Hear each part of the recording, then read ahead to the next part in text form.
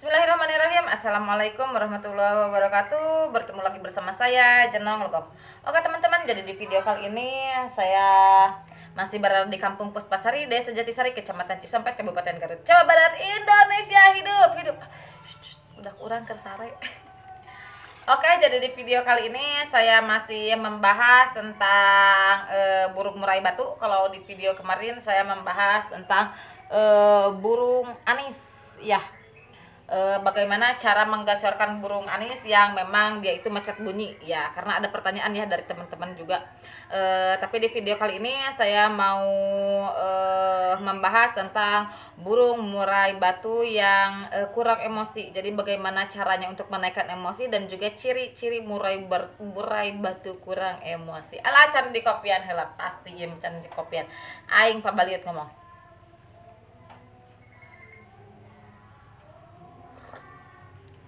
anjir penikmat kafein apa kabarmu hari ini bos Oke, jadi di video kali ini saya mau membahas bagaimana uh, apa sih gunanya, apa sih fungsinya uh, emosi di dalam burung uh, murai. Fungsi emosi itu untuk meningkatkan gaya tarungnya supaya dia itu apa namanya teh tarung dengan ngeplay bagus ya emosinya penekanannya ngotot dia itu jadi uh, setiap uh, gacorannya itu setiap melodinya itu dibawakan dengan variasi yang bagus variasi yang indah. Dikarenakan apa? Pas dia itu ngerol dia itu suaranya neken jadi seolah-olah dia itu mempertahankan wilayah kekuasaannya dan juga dia itu menakut-nakuti lawannya dengan sangat enak. Karena enjoy anjir ngeplay buntut nate ya ciri-ciri burung murai yang kurang emosi itu ya seperti itu.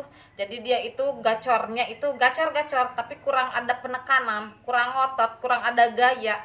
Nah seperti itu. E, jadi kalau burung yang bagus itu biasanya e, ekornya itu kan e, kalau burung yang ada emosinya itu ekornya jadi rapat ya jadi padat seperti itu. Terusan dia itu e, men, sambil gacor itu menaik-naik turunkan si ekornya. Playnya bagus Terus e, kalau burung murai yang ada emosinya, yang sudah ada emosinya dia itu responsif. Kalau ada suara bising dia itu langsung gacor dengan penekanan. Kalau ada e, misalkan ada ayam, dia itu merasa terganggu dengan kehadiran ayam yang lagi e, beger. dia itu juga ngerespon. Suara langsung dia itu uh, dengan gacor yang ada penekanan sambil dia itu wah ekornya apply begitu begitu wah naik. Ah enak ya pokoknya mah dilihat teh. Terus kalau ada misal semisal ada predator ada cicak ada kucing dia itu ngerespon. Ada suara bising-bising dari motor dia ngerespon dengan cara gacor. Gacor yang ada penekanan gacor yang enak neken pokoknya mah. Lalu bagaimana dong cara uh, untuk menaikkan uh, emosi burung murai tersebut biasanya kita itu melakukan dengan cara e, penjemuran, menaikkan penjemuran supaya dia itu suhunya naik. Apalagi di burung yang tipe dingin, memang karakternya itu dia itu e, suhunya itu masih standar. Jadi kita itu menaikkannya dengan cara e, penjemuran. Dan juga pakan, pakan untuk menaikkan emosi ya setelah ketemu titik pakan untuk birahi kita cari titik pakan untuk menaikkan emosi. Biasanya apa pakan yang untuk menaikkan emosi? Eh, biasanya itu ulat hongkong ulat hongkong mampu untuk menaikkan emosi. Dari eh, pakan jangkrik juga kita eh, kasih jangkriknya itu pakannya itu jahe kencur supaya apa? Supaya yang dia makan itu eh, mengandung eh, hawa panas unsur panas. Ya seperti itu aing lamun can ngopi isuk-isuk dah sumpah aing liar hulu teh. Mana jarum coklat nak? Nyat jarum coklat kieu diberi jarum coklat.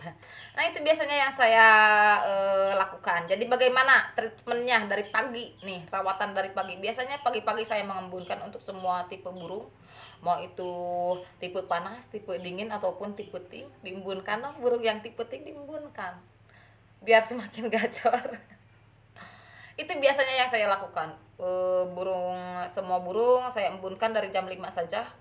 Burung anis juga saya embunkan dari jam 5 burung trotolan saya embunkan juga tapi dari setengah enam saja burung trotolan dikarenakan burung trotolan itu burung yang memang e, masih baby masih pakmud setelah diembunkan eh dari ta dari pengembunan pengembunan kan bagusnya itu di mana nong? Di luar. Pengembunan itu bagusnya di luar di ablagin aja. Di jangan di depan teras ya. Jadi nanti eh, ada pengembunan yang untuk menaikkan suhu menaikkan emosi menaikkan panas.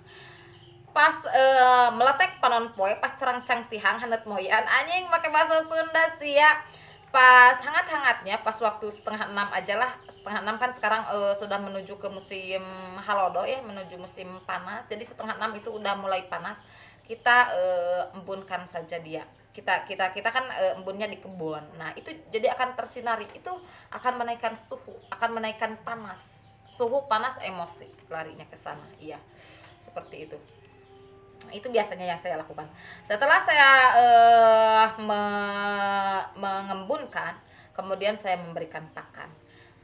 Saya sudah membuatkan videonya di yang saya gambar jangkrik sambil saya ada jahenya itu uh, untuk me, untuk supaya kita itu menemukan settingan jangkrik yang tepat yang pas. Karena apa? Kalau settingan uh, extra foodingnya itu tidak tepat ini uh, burung tidak akan gacor sekalinya gacor dia itu kurang neken gacornya. Itu juga karena bisa jadi dia itu kekurangan extra fooding.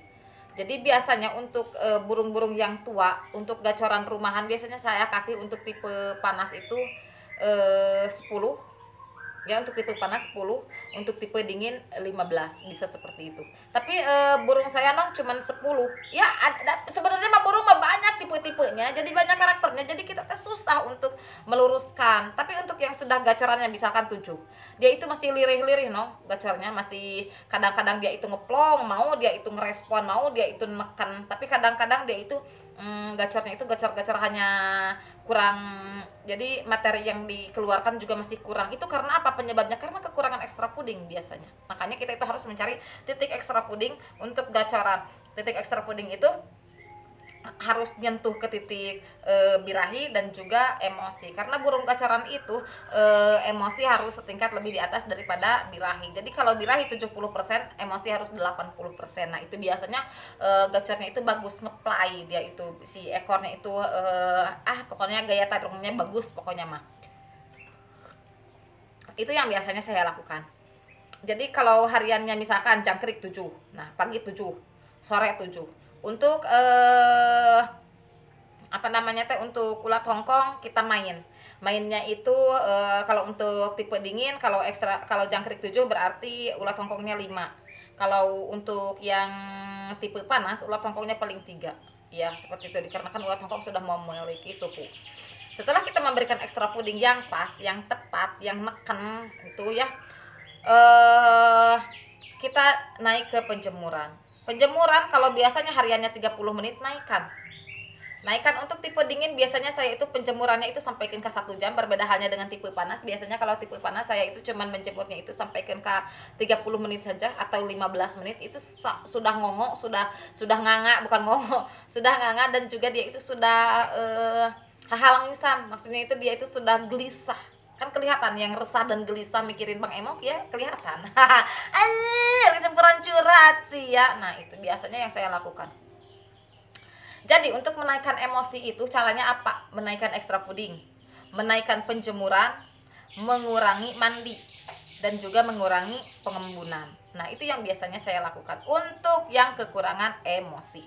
Berbeda halnya dengan kelebihan emosi. Kalau kelebihan emosi kita turunkan extra foodingnya sedikit sedikit kita turunkan ekstra pudingnya. Untuk penjemuran kita kurangi.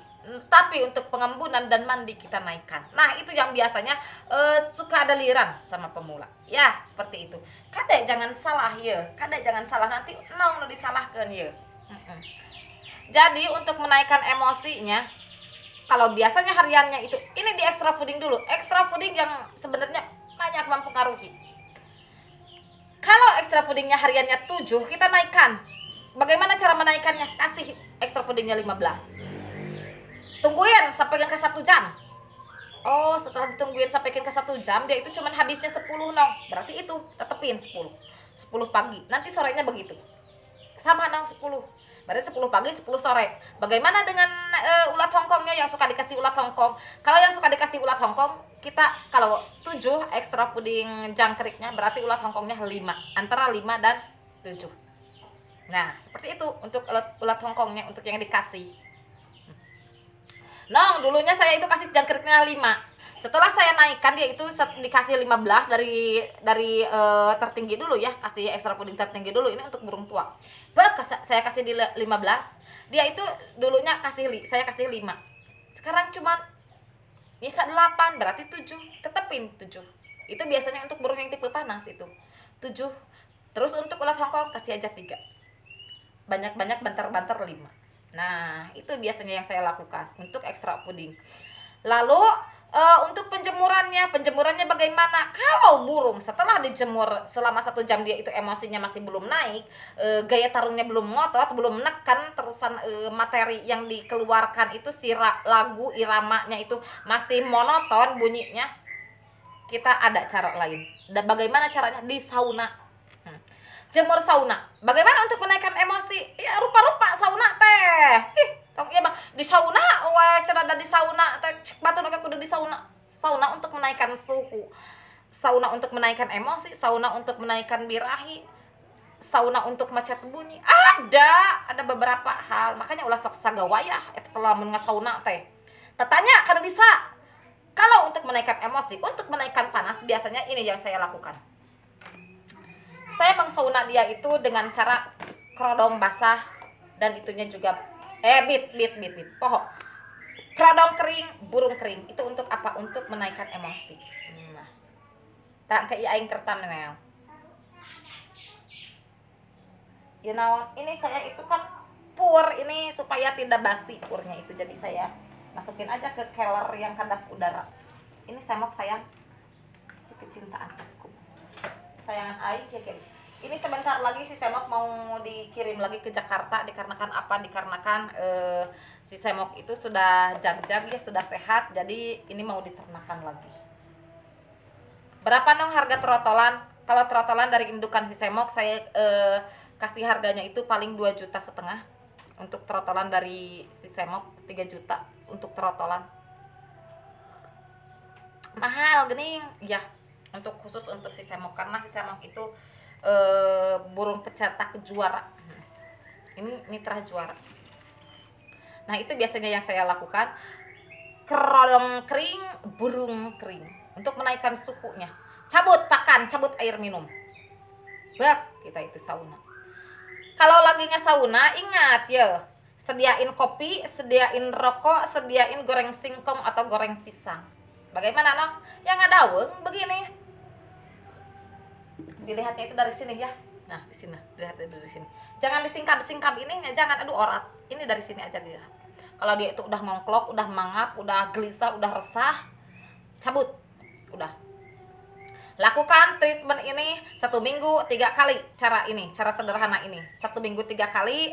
Eh, apakah setelah satu minggu itu burung akan naik? Ya tergantung burungnya. Kan burung teh uh, ada yang cerdas, ada yang pintar, ada yang gampang menaik, ada yang gampang naik suhu, ada yang gampang naik birahi, ada juga burung yang memang bangga untuk menaikkan emosi, susah untuk menaikkan birahi. Ada, ada, ada itu burung tipenya itu banyak sekali. Makanya kita itu harus mengenal karakter burung. Kalau kita sudah mengenal karakter burung, mau yang kaki hitam, mau yang bahorok, mau yang debur putih, mau yang ah tek-tek bengek itu sebenarnya caranya hampir sama mau burung murai mau burung anis itu sebenarnya cara melakukannya itu tidak jauh berbeda. Makanya ada yang bilang seperti ini. Ini bagus nih kalau di kroto itu bagus untuk penggacoran burung anis. Kita pakailah untuk menggacorkan burung murai. Itu biasanya sama juga. Saya mah keluarga saya mah memang keluarga pecinta burung. Dulu abah itu punya burungnya itu e, banyak sekali. Burung anis merah anis kembang anis macan Hmm, dulu ini dulu di sini belum ada murai belum ke sini. Nah saya mau sepeda dulu teh. Tukerin burung teh sama sepeda. Saya hmm, kan anak abah teh tiga kita tahun ajaran baru ya saman mau saman abah jual burung nate pakai beli sepatu beli seragam beli buku beli kantong. Nggak jual burung satu juga itu bisa lumayan bisa tiga anak abah teh cewek semua. Saya yang nomor satu. Saya mah dari dulu juga pengen sepatu teh yang logo yang gede yang dulu ya logo wah paling mewah itu kalau di sekolah yang pakai logo itu mewah terus eh, suami saya bawalah ini burung murai ke sini dulu mah burung murai itu yang punya burung murai itu tuh jelema-jelema yang mewah yang setingkat lebih dewasa keboganya hartanya. Oke, segitu dulu lah konten dari channel Logok untuk saat ini. Mohon maaf bila ada kesalahan, mohon maaf juga bila ada kekurangan. Wabillahi taufiq wal hidayah. Wassalamualaikum warahmatullahi wabarakatuh.